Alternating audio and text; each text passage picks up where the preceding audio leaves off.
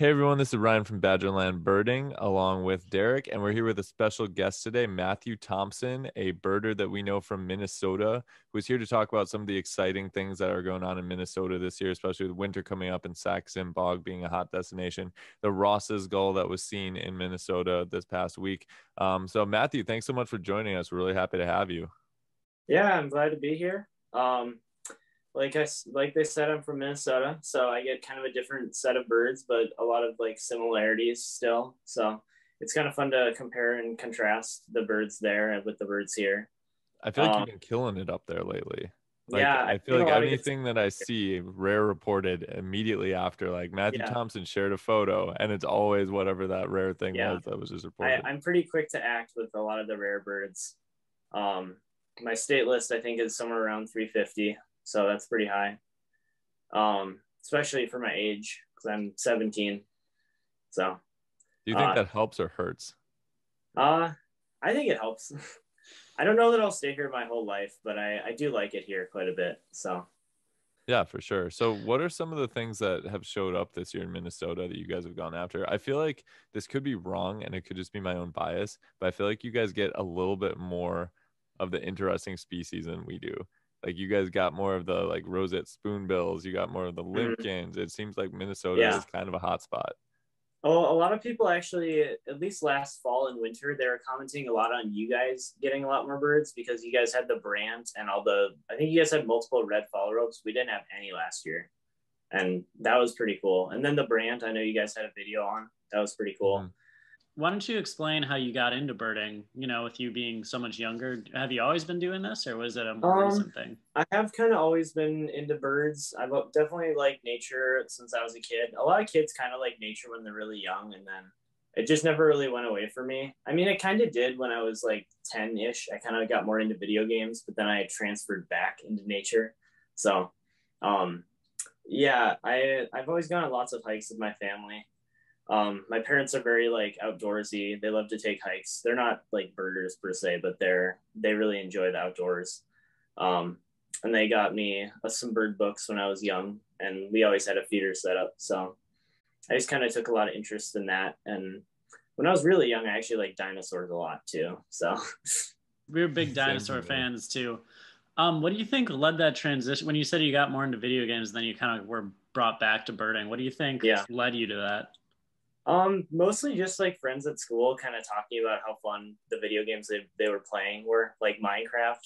I don't, you probably heard of Minecraft, I'd assume. I got. I've really heard into, of it, yeah.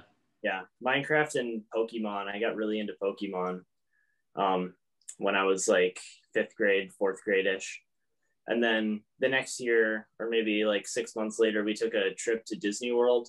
Mm. And I got to see all these cool like Florida swamp birds, like mm. anhingas and tricolor heron and all, all that good stuff. Didn't get any spoonbills on that trip just because they're not really as common in that area, but mm-hmm. uh, it was still really cool. And then I feel like that kind of sparked it too.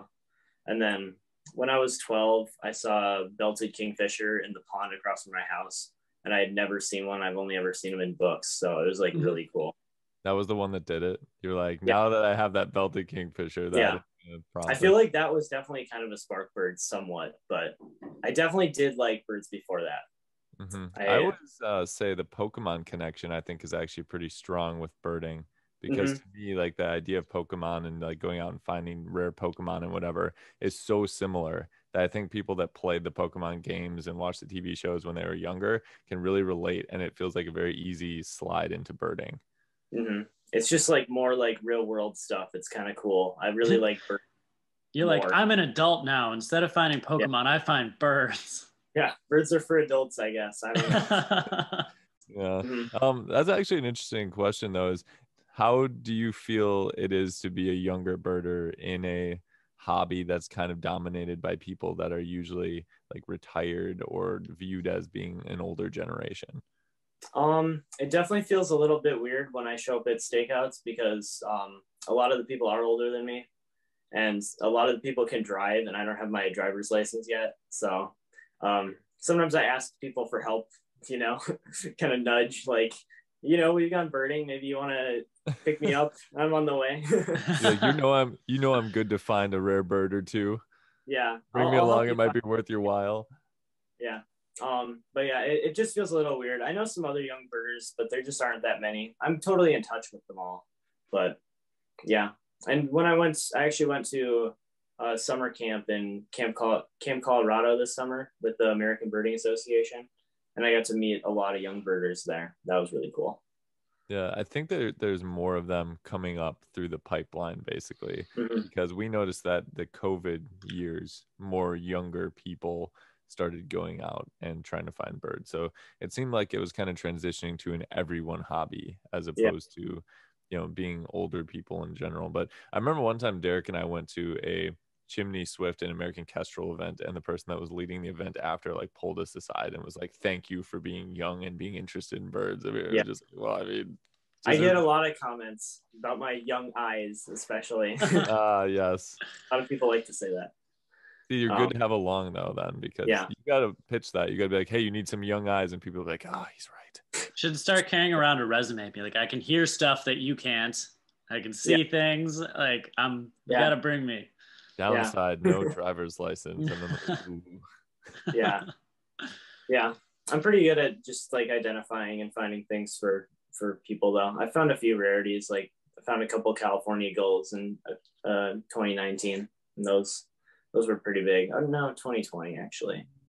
Yeah. So talking about gulls, you went and saw the Ross's gull one of the first days it was found, didn't you? I did. Yes, I was like the first or second or third person on site. So, oh wow! If you scroll back through all the eBird lists, my name is like right after the original finder. Wow, nice. That's awesome. Yeah, what was your experience with it when you were there? Because I actually went today, which mm-hmm. For anybody that doesn't know, because the Ross Gull was a huge thing because it's such a rarity to even get into the lower 48 states. But it was found originally it was healthy seeming originally, and then today when we were there, it was pronounced deceased at one point when oh somebody took it to a rehabber basically because it was just sitting. What was your experience with it when you first saw it? Because it seemed pretty active. So my first experience was kind of like the original finder. It was like the first photo he posted. It was way out on the St. Croix River, way out with uh, ring-billed gulls, just like in the water. So I first saw it really far away and I took, of course, like 50 pictures and then it flew like right in front of us. So I had to like I had to like go through all those ones I took and I was like I took all these better ones. But it flew like right under the railroad bridge there and kind of did some feeding. Got to see it dive down a little bit, catch a couple minnows. Um, the flight was cool. I got some good shots of the tail, which is a good ID point against like little and kittiwake and stuff. Yeah, that must have been a huge one for you guys because I know it was a huge one for us because mm-hmm. it kept coming across the river. So people would mm-hmm. kind of go from one side to the other to try to see it on both sides so that they could count it on both lists on eBird. Yeah. It was, yep, I got it. I got great photos in both states. So uh, happy about that. So, can you talk a little bit more about just like what the birding scene is like in Minnesota? I feel like in Wisconsin we have a pretty good community where like if a rare bird is seen, you know, everybody kind of tries to figure out like, is that somebody's house if they're accepting visitors? And it's all fairly organized. Um, Louisiana is a little more wild. Every man for themselves. I, a little bit. Like, there's just a lot of stuff happening in different places, and it's not all populated, you know, evenly or anything. So, what's what's the Minnesota scene like? Um, it's a pretty good birding community. It's mostly through Facebook that the birds get seen and reported. I noticed that because in my first couple years birding, I was just using eBird, and then when I got on Facebook, I learned about things like ten times faster, and I really enjoyed that. Um, the groups are pretty inclusive, and then I feel like the Twin Cities is definitely where most of the rarities show up, at least within like a short distance. Like the Limpkin was right in the Twin Cities here the, we had a painted red redstart last year that was cool. right in downtown St. Paul, basically. I was jealous of that one. Yeah, it wasn't doing so good either. I, I have no doubt that that bird probably didn't make it.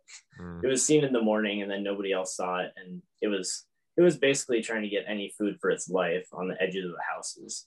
Mm. Was that like basically during winter time? If I remember. It correctly? was in late October. We actually had a early snowstorm, so mm. it was oh. it was snowing at the time. I always like to believe that they somehow found a way to make it south, even though I know they probably didn't.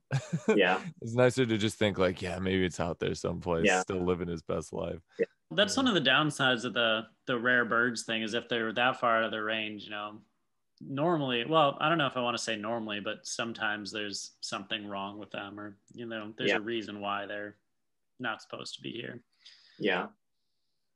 I would say going back to the Ross's gull, I'm not really sure where this one came from. I on the maps I've seen, they live in Greenland and Alaska and then like Siberia, of course. Mhm. Um, but I also saw that they used to breed in Churchill, Manitoba, which isn't as far by a lot. It's actually like I think Hudson Bay is like closer than the Gulf of Mexico for Minnesota, as far as I could tell by like as the crow flies.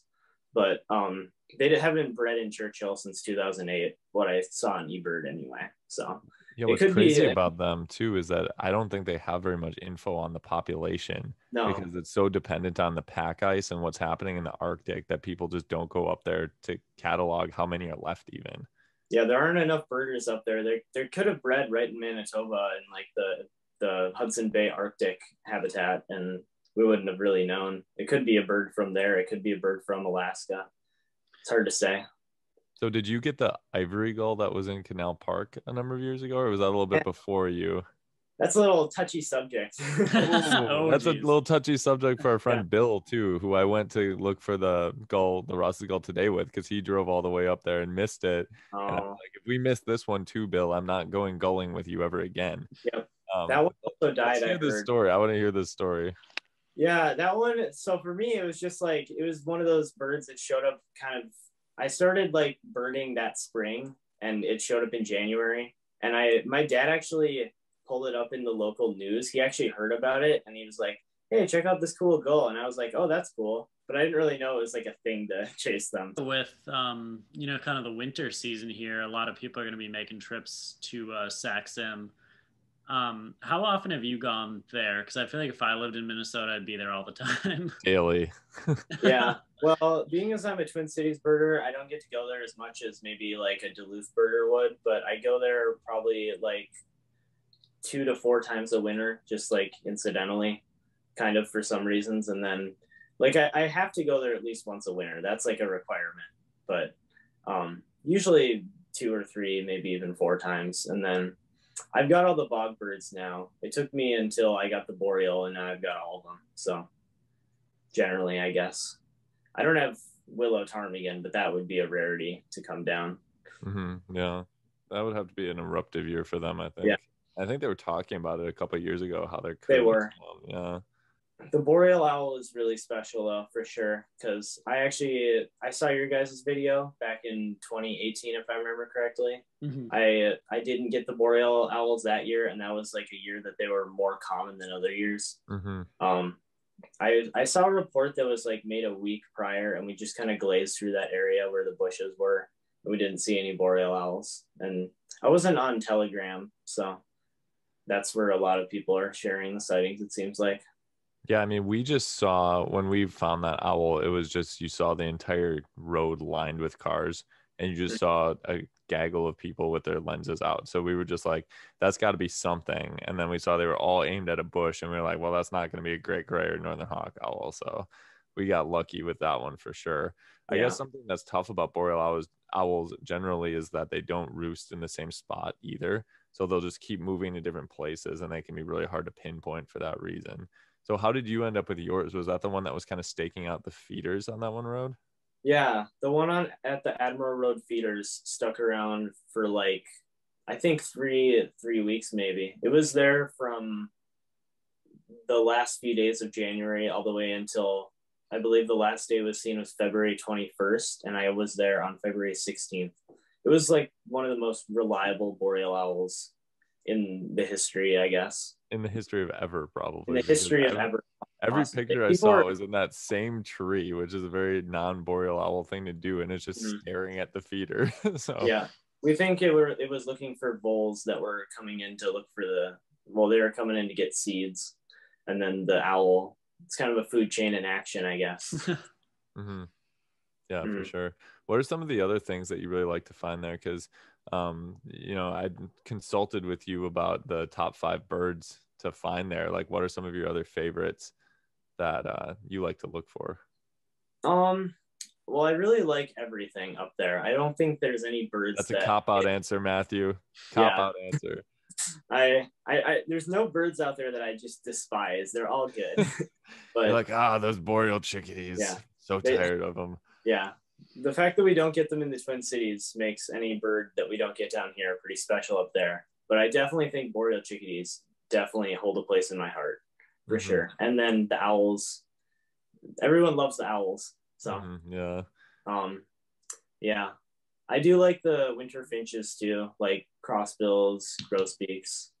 For us, we can go up to like the Nicolet National Forest or um, the Chequamegon National Forest and kind of get some of that stuff. So we can find pine grosbeaks and we can find evening grosbeaks. And if you're really, really lucky, you can get a boreal chickadee or a black-backed woodpecker. But going to the bog was like one of those areas on steroids where it was like you actually can find them if you just look in the right places, which was mm-hmm. crazy because the day we went there, we were just like, oh, let's look for this. Oh, there it is. Let's look for that. Oh, there that is. It was such an epic experience yeah. to be able to find all that stuff so easily, I guess, compared to what it's like down here. Mm-hmm. It's such like a nice compact square of land. It's it's like big, but it's also not. As far mm-hmm. as like the amount of species in in that area, it's really like a good amount, and it's like such a compact like square of land. It, it's such a nice area to go to. Yeah, what's nice too is they so have well expected places for them. So like yeah. you know kind of where to go where stuff's been seen. Um, I wanted to ask you about the three-toed woodpeckers too, because when we went there, we were lucky enough that there was one. But you said they're not a every year type of species, right? Yeah, I think in my times going to the bog, there was one in 2020 in January, I believe, or February. Um, and then that was that one was in the Winterberry bog, and then the one that you guys had, the that was in the Warren Nelson bog. That was the mm-hmm. only other one I'd ever seen in Minnesota. Wow. They are actually in like far northern Minnesota. I think more often than we think because it always seems like somebody gets one at such a random area, but it seems like they're up in up in like Cook, Minnesota, which is about an mm-hmm. hour north of the bog, almost in Canada, and then Grand Portage, Minnesota. I know has them sometimes. Grand Marais, Minnesota, mm-hmm. up on the North Shore, and then once you get more inland, where where you can get the the bog habitat again, they they get more of them up there. They're definitely not an every year bird in the bog. Yeah, for sure. Which we didn't necessarily realize because it was just there. So I was kind of mm. like, oh yeah, I got three toed. That's probably here all the time. And then it was later explained to me like that was actually pretty rare that that was there. So yeah. yeah. When when we went though, it was not a good boreal chickadee year. So we actually had to go up near Isabella, Minnesota to find ours. And we were like on the edge of Canada, it felt like where you know, it's yeah. the last frontier of northern Minnesota, basically. Mm-hmm. One of the main things I remember from that boreal chickadee trip was Barry had this thing of beef sticks that he was heating up by putting it over the like where the heat was coming out for the car, and then he was distributing them in the bag. He's like, "Who wants a beef stick?" I do remember that. Yeah, I remember we saw that snowshoe hare on the way up. yeah, that cool. was really cool. Those are awesome. Yeah, I've seen a few of those in the bog. Mostly in the last trip, I kind of made a special effort to look for them a little bit more. But they're they're at Warren Nelson actually, just like right off the mm. first platform too. That's interesting. That's neat. They were really cool. I didn't expect to see those. Yeah, it's cool to see such a white rabbit. Most of the rabbits we have down here are just cottontails. They're yeah. typical brown fur, I guess. Maybe someday you'll think you'll see one of those uh, white snowshoe hares, and it'll actually be a willow ptarmigan. And then like, I'm glad I gave that one a once over. Mm-hmm. Yeah, that's that's like one of the things you probably mistake it for, honestly. Just like something white with eyes, dark yeah. eyes. Reminds me of like the snowy owl search because Ryan always says they just look like little snowmen. They also mm. look like plastic bags. They do.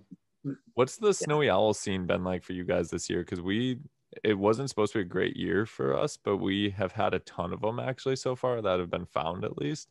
What's it shaping up to be like um, up by you? Um, there's been a few in the Twin Cities, and then I think there's been a few more out in like northern and western Minnesota. Um, I don't think it's very maybe a little bit earlier than usual, but some years we just get a lot, and I feel like every year or two, like there's just there's always a lot here because how far north we are. But there there is one in, there was one in the Twin Cities, and I think it left a few days ago, but it was being seen by a lot of people. So mm-hmm. they're they're around most years, but mm-hmm. definitely some around this year. Yeah, we're kind of lucky to live north enough that they're a regular visitor in winter. Mm. Because I think that if I lived in like Kentucky or Texas, I would be geeking out to come see a snowy owl. But living up here, it's it's always nice to see them, but it's kind of like, yeah, there's a snowy owl. That's cool. Well, remember remember when we started and we didn't even know they would be in the state and there were like reports of it and we were like, what? That's insane. Wasn't it like a snowy owl eruption year when we started? It was, birding, yeah. So like we would just walk along marshes and be like, oh, there's another snowy owl. That's cool.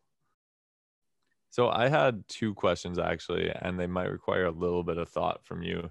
But I wanted to know a what are the best places to bird in Minnesota? So like somebody who's from a completely different country and wants to come bird in Minnesota, which places do you suggest? And then after that, which birds do you think are the top ones to find in Minnesota? So like for us, we get the whooping cranes and the Kirtland's warblers, which are the ones that if you go to Minnesota, you're going to want to find in whichever time of year it is, not necessarily winter or summer. But let's start with the places. Like what places do you think are the best ones to go to? Um, so the the Minnesota Valley National Wildlife Refuge is a big area of land that's pretty close to the airport. So anyone who flies in and doesn't really want to like go too far, they can they have this whole place at their fingertips, and it's got lots of uh, places where a lot of people go birding. And I would say like one of the more the uncommon sort of rarish birds that we have here that other states don't have are the amount of like trumpeter swans Hmm. Even though they are technically introduced, they've been here for a while, so they're they're countable here. Um, but in most states, there just aren't as many trumpeter swans as there are here. So you can go to any like open water in January, February, even November, December, and just find tons of trumpeter swans. Even just anywhere in the Twin Cities, anywhere that has like open water, they're probably at, Hmm. especially on the river valleys. I'm assuming Um, that was a reintroduction effort, right? Because they were in It was. pretty They, dire they place declined, for a while. yeah, they declined pretty Yeah. heavily. they got reintroduced into Hennepin County parks and they really spread. So that that's definitely a bird people look for. As far as like other places to go, McGregor Marsh is popular for uh, sedge wrens and yellow rails, especially because Ooh. that's another like pretty sought after bird. But you have to be out there at night, and that that ma- that puts more work on you just because there aren't a whole lot of hotels nearby but I feel like the bog is definitely the main draw for Minnesota. Other than that, it's pretty much just like rarities. And then in the Twin Cities, there's so many parks and lakes. A lot of people have like their favorite birding patch, and then they they bird there like every day.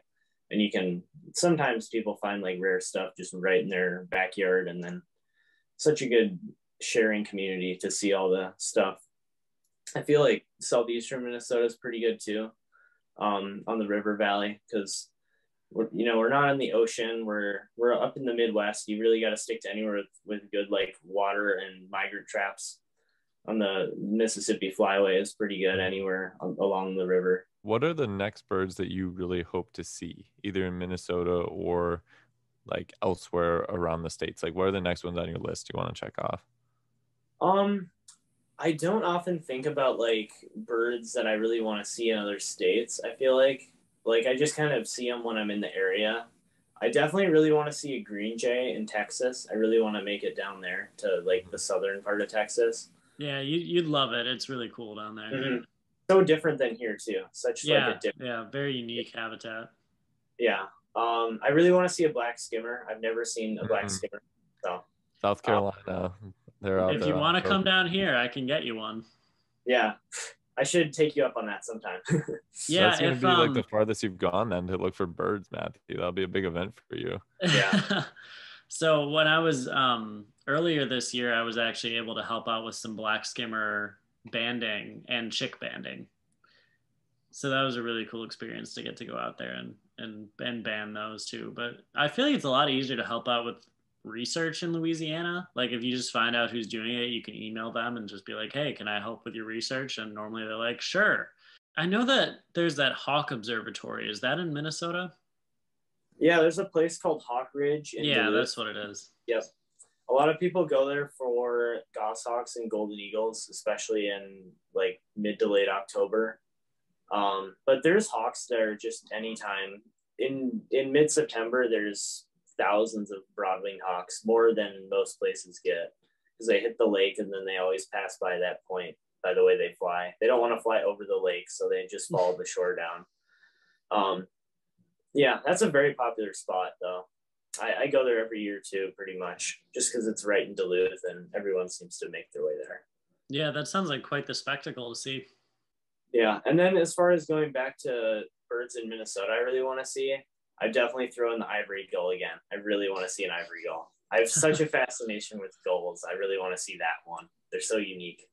There aren't a whole lot of like fairly regular lifers I can get though. It's got to be kind of the rare stuff. I'm weeding out the common stuff on my list. So little gull again is another one. Little gull, ivory gull, and golden crown sparrow. I'm actually waiting for one to show up, kind of like a random bird, but hmm. I that's one of the more common ABA birds in general that I haven't seen. I was gonna say I think that they kind of come into Minnesota like not necessarily regularly, but more regularly than they do in other places. We had hmm. one two years ago, I think, that showed up in Wisconsin near Horicon Marsh. Have you ever been to Horicon Marsh yet? I haven't been to Horicon. I've heard of it. Oh, Matthew, you've got to come to Horicon. Yeah, I've been to Necedah twice, so I do have some Wisconsin wetland experience, but mm-hmm. Horicon is definitely something else. I'd love to see it. Yeah, Horicon is like our Sax-Zim Bog kind of. Mm-hmm. So that's the place that I would recommend most people go when they come down here. Um, so you got to come check it out for sure. And then you immediately have to go to Louisiana to find black skimmers. yeah, I mean, you can just head over and then just go straight down. Yep, straight yeah. down. Well, you can hit Chicago, so you can go Horicon Marsh, then Chicago, and then O'Hare to Louisiana. Yeah, I really want a black skimmer to show up here at some point, though. You don't want to wish a hurricane because I know it'll affect Derek, but it, it yeah, it, it already has. yes, I know, but bird wise, it helps us a little bit. Mm-hmm. Yeah, get a frigate bird every now and again. Mm-hmm. When we had the hurricane, like everyone in Thibodaux, like where I'm, like a bunch of people evacuated, but like Baton Rouge, where LSU is, didn't really get hit all that bad. It's like all the LSU birders went out and they were seeing sooty terns and like frigate birds and all this stuff. And I'm like, dang it. Because you're just like, well, I was worried my house was going to get ruined. And that guy just saw a sooty tern, you know? Yeah. Ryder, do you have any other questions? Um, I don't think so. Did you have any other questions? Not off the top of my head. Um, Matthew, was there anything else you wanted to mention about, you know, being a birder in Minnesota or just birding in general or being a young birder? Um, I really like the hobby. I don't plan on quitting. I'll say that much. It's, it's kind of addictive. it's very fun. And once you get more committed to it and see more birds, you kind of dig yourself deeper in a hole of trying to get every single one. Um, so I hope in in the future I will be able to see a lot more birds and grow my lists and stuff and hopefully do more traveling. But I I don't think I really have anything else off the top of my head. Well, cool. Um, thanks yeah. so much for joining us. We really appreciate you taking the time to talk and you know tell us about the Minnesota community. Yeah, no problem. I enjoyed it. Hopefully, we can uh, go birding together sometime. It'd be good. Yeah, definitely. I don't think I've ever met you guys in person, but you seem like cool dudes who've got cool videos. Thanks. That's I'm what we strive to be. If yeah. I go to Minnesota to bird anytime soon, I'm going to be like, you get out here right now. I'll drive you around and you'll help me find birds. yeah, I, I, should be willing. I should be able. So you're out here again. All right. Sounds good. Um, thanks so much, Matthew, and we'll see you around.